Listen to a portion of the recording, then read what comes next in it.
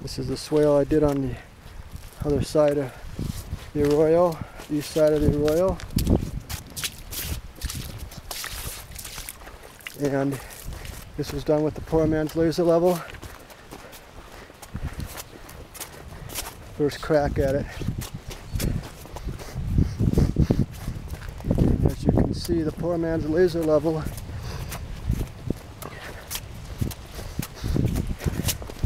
patched up a few low spots here and there, but by and large, the poor man's laser level is surprisingly accurate. Uh, this goes all the way around the ridge here.